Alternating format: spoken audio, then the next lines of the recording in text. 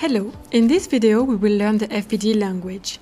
I will first present the FBD language, how it works, how it is written, and then we will make an example.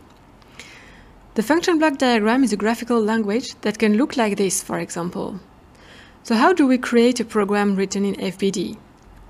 A function block diagram is a data flow between constant expressions or variables and operations represented by rectangular blocks. Data flow must be understood from the left to the right and from the top to the bottom.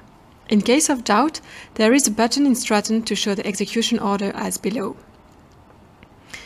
Each block represents either a function with a function name on the top, the inputs on the left and the output on the right, or a function block with the type of the function block on the top and above the name of the instance in a darker blue square, and still the inputs on the left and the outputs on the right.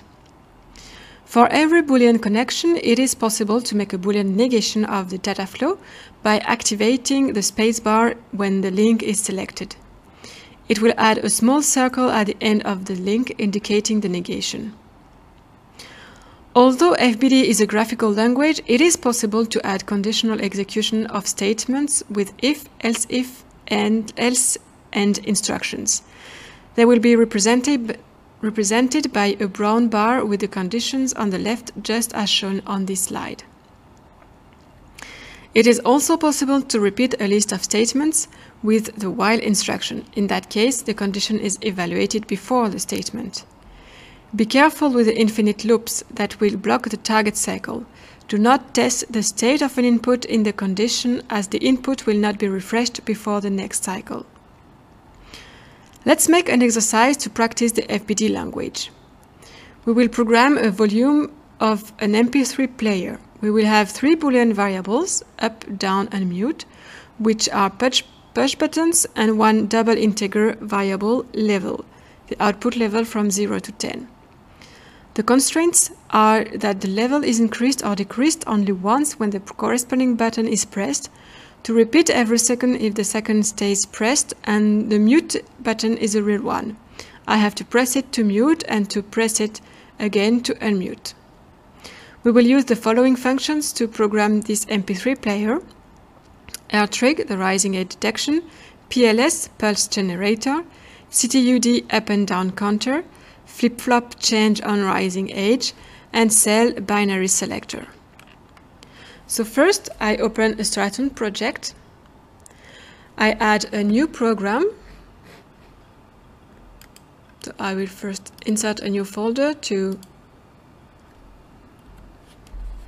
organize my project.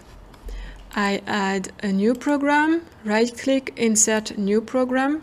I call it MP3 player FBD. I select the FBD language and I click on OK. Then I open the program. I will first deal with the behavior of the up button, knowing that the one of the down button will be exactly the same. So we want that each time the button is pressed, the level increases. So we have to detect the rising edge of the button. So we use a R_TRIG function block. So I go into the library function library on the right and I look for the R_TRIG block.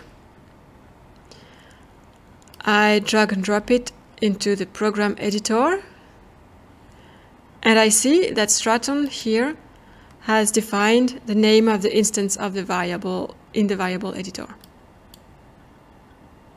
The name of the instance of the block. So I set the input variable to up. I have to press enter to validate the entry.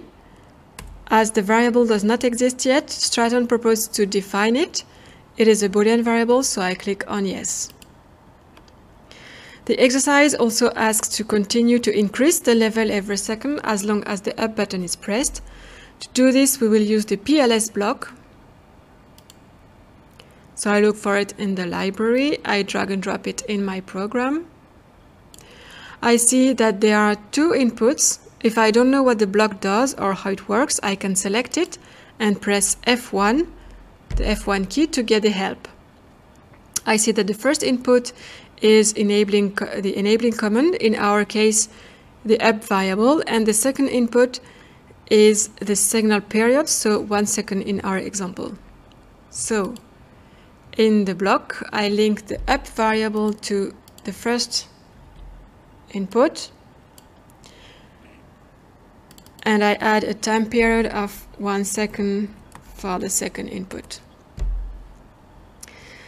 Then I add an OR block to combine the two uh, outputs of these two blocks.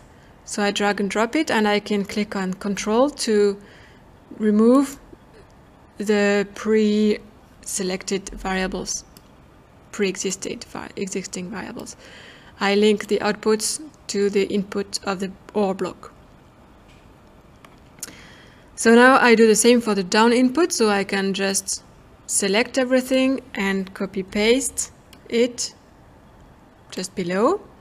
I see that Straton here has declared the two other instances and give them another name, different name.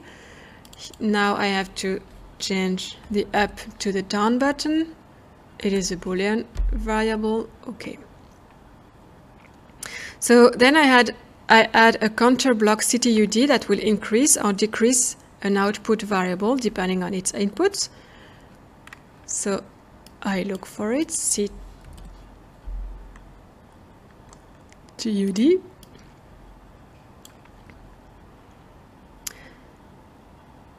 the first input increases the um, the output each time it is true so I link it to the output of the up OR. The second input decreases the output each time it is true so I link it to the output of the down OR then the reset input resets the counter as we don't need it I will set it to false PV is the maximum value of the counter. The exercise is to have a volume from 0 to 10, so I set the maximum to 10. And finally, the load input, if it is true, then the counter is set to the maximum value PV. As we don't need it, I set it to false also.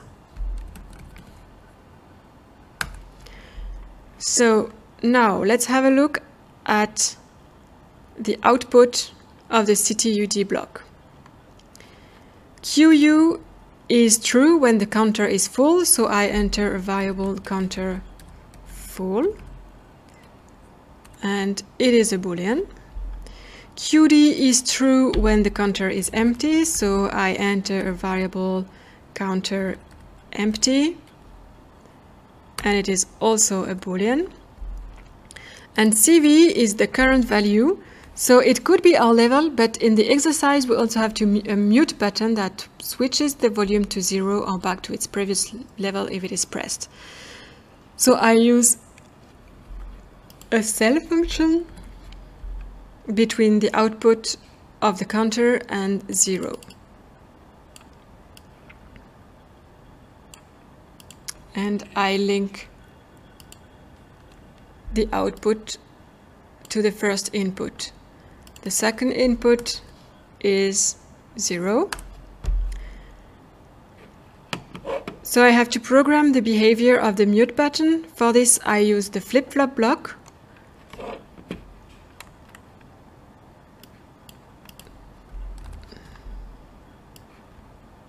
The flip-flop block. Its output changes on each rising edge of the input. So I set the variable mute for the input. It is a boolean. And the input reset e here is not used in our case so I set it to false. And I link the output of this flip-flop block to the selection command of the SEL block Remember I talked about the execution, showing the execution order of the FBD program. It is this icon here on the left. If you click on it, you will see the execution order of your program appearing. So now if I build my pro program, Yes, and I forgot here to put uh, the level as the output of of my SEL function, which is a d double integer we said. So now if I build it again, I have no error. I can go into simulation by clicking on this icon here. And I start. And if I set the up variable to true by pressing a spacebar, I see that my level here is increasing. If I stop pressing it, it stops. If I press down button by switching it from false to true thanks to the spacebar, it decreases. It also decreases only if I right if I just click on it. The same for the up button. And if I click on the mute button, I see that my, my level here is zero. And if I click again on my mute button, it is switched back to three. So the expected behavior is correct. That's it for the FBD module. In the next module, we will see another language, the structured text, also called ST language. Thank you for watching this video.